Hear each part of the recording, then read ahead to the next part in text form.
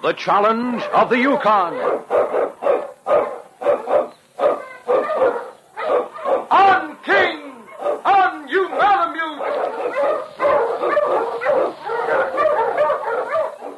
The Wonder Dog King, swiftest and strongest of Eskimo lead dogs, blazes the trail through storm and snow for Sergeant Preston as he meets the challenge of the Yukon.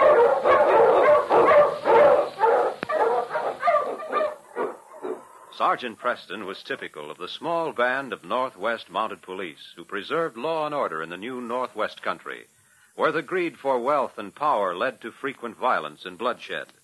But in spite of the odds against them, Sergeant Preston and his Wonder Dog King met that challenge, and justice ruled triumphant.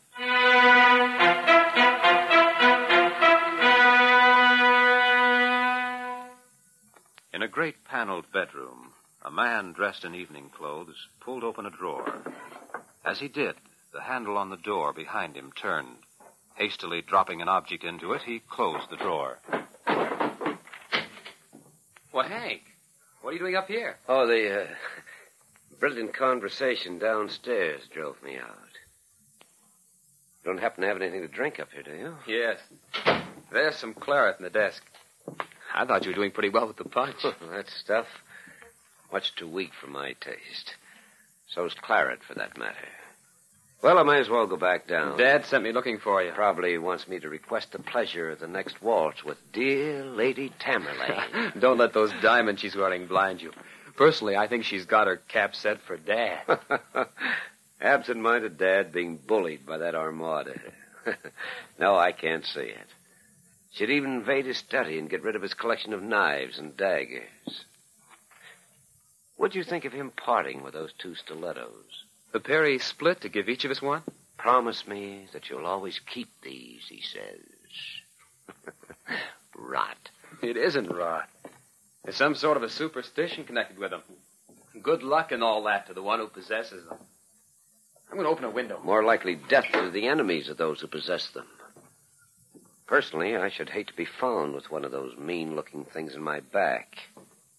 Why they should be so important to him, I don't know. Well, that collection he has and this house is his world. He loves every stone in the place. And I don't wonder. Come here, Hank. Look. Even a party's better than looking at a sight I've already seen too much of. No, thank you. You don't see very much of it. You aren't home often enough. Too much of that London life, my boy. Not good for you. You think like Dad, I suppose, that I should stay here and just become part of the landscape. Part of the landscape rot. All this is going to be yours one of these days. Well, I could use an advance on it now. The old man won't come across with another shilling. Oh, so this is where you are. Oh, I say, Dad. We were coming right down. Well, I came up myself. I, my word, you've no idea what just happened. Lady Tamerlane's diamond necklace. What about it? It's disappeared. I suppose you'd say it's been stolen. She never missed it until a few minutes ago. So, naturally, all the usual things will be done. Imagine, here, my guest being searched. Why, the, that's fantastic. Who here That's would just what think I said, my boy. But the fact remains, she wore it this evening, and now it's gone. Uh, however, we're wasting time. I. Oh, Edward, uh, that window, such a draft. I. I forgot. You don't like fresh air. I'll close it, and we'll be on our way downstairs. I suppose we'll be searched with the guests. Yes, yes, of course. Beastly business, all very disturbing. I. I don't seem to have a handkerchief. Oh, dear, dear, that man Parsons. Edward, uh, where are your handkerchiefs? In the top drawer there, Dad. I'll get you one. Uh, nonsense. Can get it myself. No, no, wait, Dad. I'll get it for you. Aha, so my oldest son can speak. No, never mind. I'll get it myself. I. Edward. there should be some in there. Yes, there are. But this. This is also in there. The Tamerlane necklace. Edward. Edward. But how did it get there? How? It's very obvious how it got there. As the three men stood facing each other, Edward looked at his brother. He waited for him to speak. But when he remained silent, Edward realized he did not intend to tell the truth. I don't know what the explanation for this could be, but I want to give you a chance to say something. I suppose there's nothing to say, sir. The incident with the Tamerlane necklace created tension it was impossible to ignore, though it was returned with plausible explanation. After a few days' hesitation, Edward, the youngest son of the Duke of Burlington, left his home and his father and England, which he loved so greatly.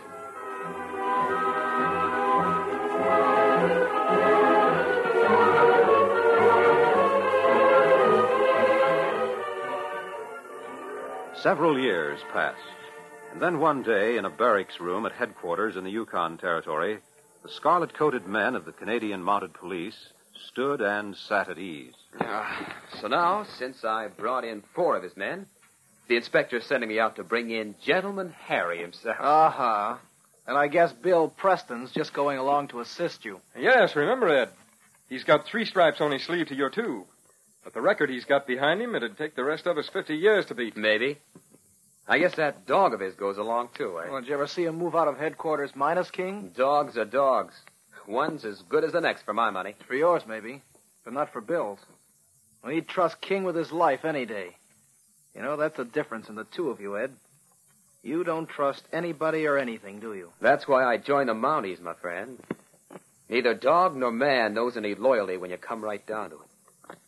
This will be the first time I ever worked with anybody on a case. And certainly the only time I ever want to work with a dog. Well, I'll see you fellas in a couple of days. So long. Goodbye. Good Lots luck. of There goes a cocky kid. Yeah, he's cocky, all right. I have a hunch that's why the inspector put him to work with Preston on this case.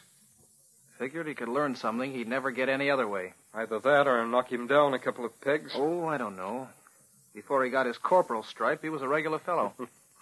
Instead of putting it on his sleeve, maybe it should have gone into his hatband. no, he's got a funny outlook on life, Paul. As if the world's against him and he doesn't really believe in justice.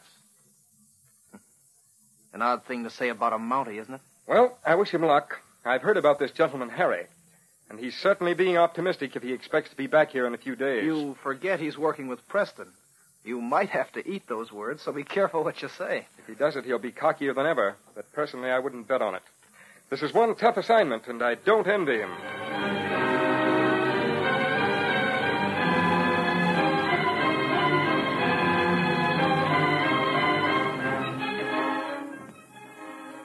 The two Mounties traveled for several days, finally reaching the hill country. Then on the fourth night, as they sat beside their campfire, King, who was resting at Preston's feet, raised his head. Well, looks like we're going to have company. Oh, you huskies! Oh! A woman alone on the trail. She's probably carrying a gun. She knows how to handle it as well as she does those dogs. She won't have any trouble. Mind if I share your campfire? Not at all. I was just thinking we'd need more wood. I'll gather some. Make yourself comfortable. Come on, boy. Policeman, huh? I see your tunic under the mackinaw. Yes. Mackinaw keeps the wind out.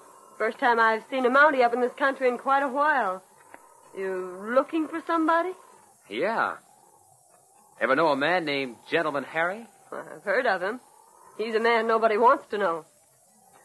Well, I'm going to turn in. I've got to be on the trail early tomorrow morning. Good night. Good night, ma'am.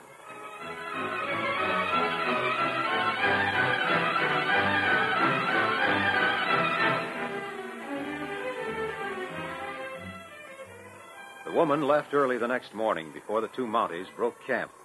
Then, settling their packs on their sleds, they continued their journey. On, King! On, you Malamute! It was mid afternoon when they sighted a cabin. Well, Sergeant, what's our next move? I don't know yet, except that we'll keep our eyes open and our mouths shut. So far, no one in this part of the country knows why we're here. Wearing these mackinaws over our tunics, nobody would take us for Mounties. Then you didn't want anyone to know why we're here? Word of mouth travels fast anywhere, Ed. The Yukon is no exception. If this gentleman Harry had any inkling of our presence, we...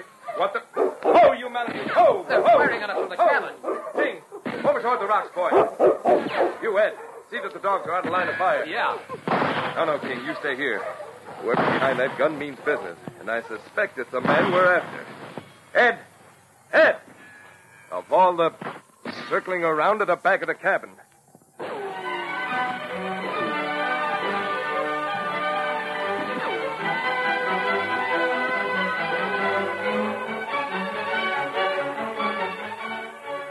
Meanwhile, inside the cabin, Harry, you aren't going to kill those men, are you? I just wanted to warn you so that you Good could... thing you did. I know, but I didn't expect a gunfight.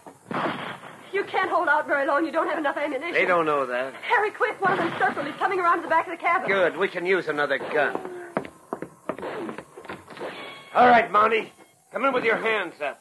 That gun of yours will come in very handy. I'll cover you, Nora. You get it from him. You're not doing any shooting with this gun? Oh, he threw it back toward the rock. You're going to be sorry for that. But empty. Gentleman Harry's gun hung uselessly in his hand. As the eyes of the two men met, recognition flickered across their faces at the same instant. The gunman opened his mouth to speak, then changed his mind. This puts us on equal terms. Not quite. This dagger's been useful before. You're going to walk in this door and out the front door. And if your friends shoot, I see. now move.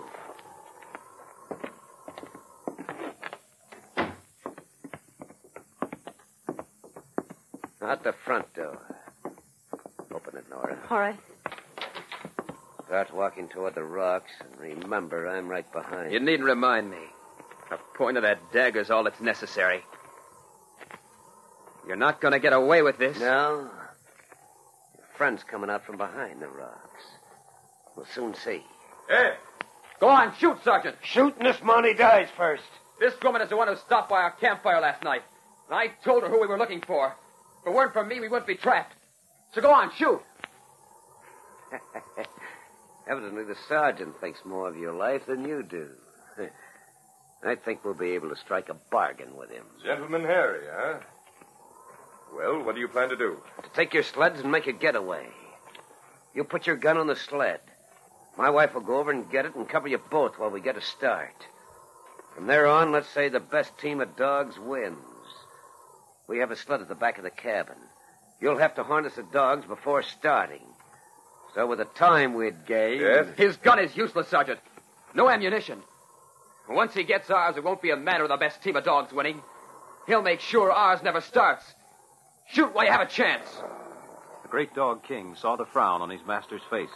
And as he padded softly through the snow, he saw the glittering blade of the dagger pointed at the corporal's back. Looking at Sergeant Preston, Gentleman Harry failed to see the dog on his right. King jumped, knocking the man to the ground. No, no. No, get the dog away. Get away from me. No, no. Get down. Get that dog away from me. The impact of flying muscles and sinew was stunning. Seconds passed before the man realized what had hit him. Me. When he did, he raised himself on his elbow to hurl the murderous weapon at the dog. I'll show you. But the warning was unnecessary. The man's elbow gave way beneath his weight. Harry! He fell over on that knife. His arm must have broken when he struck the ground. Oh, Harry! That dog. Sergeant, he probably saved both our lives. It isn't the first time he saved mine, Ed. If it hadn't been for him, ah, this whole thing was my fault. If I'd kept my mouth Learn shut. Learn something from every case, Ed. And I don't think you'll forget this one in a hurry. You were his wife? Yes. I fell in love with a man I knew nothing about. Where his home was, what he did before he came to the Yukon. I'm not excusing myself. I knew he was an outlaw, all right, running away from the law. That's why I came up here. Gentleman Harry. An odd looking dagger, isn't it? I've never seen one like it. Have you, Ed? Yes, I've seen one like it, Sergeant. I have the mate to it. Preston looked at the corporal, but the young man's eyes were on the killer sprawled in the snow. And as the sergeant studied the expression on Edward's face, he realized that there was more to this case than he knew, more than he would ever know. Yes, fella. The case is closed.